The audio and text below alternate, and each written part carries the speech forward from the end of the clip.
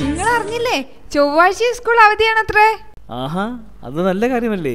ഞാൻ പോയി രണ്ട് കിലോ കോഴി വാങ്ങി വരാം. എപ്പോ നോക്കിയാലും ഈ കോഴി തിന്നേണ്ട വിചാരമുള്ളൂ മനുഷ്യ. നിങ്ങൾക്ക് ആരെങ്കിലും ഈ കോഴിയിൽ കൈവശം ചേർത്ത് തന്നിട്ടുണ്ടോ? എടി കോഴിക്ക് ഇപ്പം കിലോ നൂറ്റമ്പത് രൂപയേ ഉള്ളൂ. നല്ലൊരു മീൻ മേടിക്കണേ കൊടുക്കണം മുന്നൂറ് രൂപ. പിന്നെ കോഴിയിലുള്ള പോഷക മൂല്യത്തെ കുറിച്ച് ഞാൻ പറയേണ്ട കാര്യമില്ലല്ലോ. എന്നാ പറയണ്ട. ഞാൻ പറയുമെടി vitamin C vitamin A calcium carbohydrate protein. നിർത്തുന്നുണ്ടോ? എന്തേ?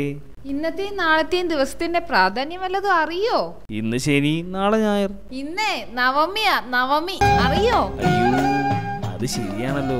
ഓ അതിന്റെ അവധിയായിരുന്നല്ലേ. അതെ അതിനിടയിലാ നിങ്ങളെ ഒരു കോഴി. രണ്ട് ദിവസം പ്യുവർ വെജിറ്റേറിയനാ സോറിടി അവധി എന്ന് കേട്ടപ്പോ എന്റെ മനസ്സ് കോഴിക്ക് വേണ്ടി തുടിച്ചു.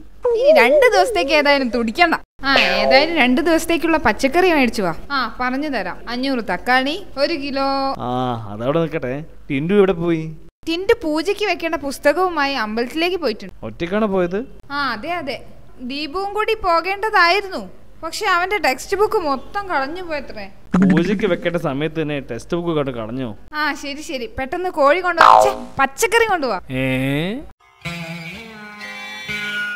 നിന്റെ ടെക്സ്റ്റ് ബുക്ക് കാണാതായി അല്ലേ ദീപു? ഓര് പറഞ്ഞു? നീയല്ലേ രാവിലെ മെസ്സേജ് അയച്ചത്? സം ടെക്സ്റ്റ് മിസ്സിംഗ് എന്ന്.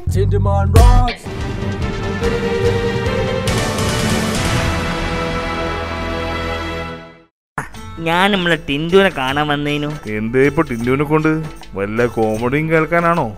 അതല്ല നമ്മളെ ചെറിയോനെ കലോത്സവത്തിൽ പങ്കെടുക്കുന്നുണ്ട്. ടിൻഡുവിന്റെ വല്ല കോച്ചിങ്ങും കിട്ടുമോ അറിയാനാ ഓ അതിനെന്താ? ടിൻഡു മിമിക്രിക്കും മോണോ ആക്ടിനൊക്കെ എന്നും ഫസ്റ്റ് അല്ലേ? അത് ശരി. ഇപ്പൊ മിമിക്രിക്കാർക്കാണല്ലോ ഡിമാൻഡ് അല്ലേ നാളെ മോൻ വലിയ സിനിമക്കാരനൊക്കെ ആവൂല നാര് കണ്ട്. ശരിയാ.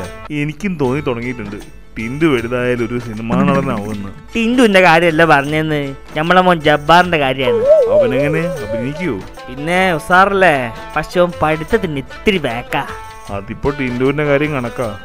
നമ്മളെ തറവാട്ടിൽ എല്ലാരും അത്യാവശ്യം പഠിത്തക്കാരാ. അപ്പൊ ഒന്ന് മോശാവരുതല്ലോ നിങ്ങളുടെ തറവാട്ടിൽ പഠിത്തക്കാരോ? ഒന്ന് പോ മൂസാക്ക. ഞാൻ എട്ടാം ക്ലാസ് പാസ്സല്ലടോ. ഭയങ്കരം തന്നെ. അല്ല ടിൻഡു ഇപ്രാവശ്യത്തെ കലോത്സവത്തിലൊന്നും പങ്കെടുക്കുന്നില്ലേ? മിമിക്രിക്കും മോണോ ആക്ടിനൊക്കെ എന്തായാലും അവനുണ്ട്. ഇത്തവണ ചെണ്ട കൊട്ടലിനുണ്ടെന്നാ കേട്ടത്.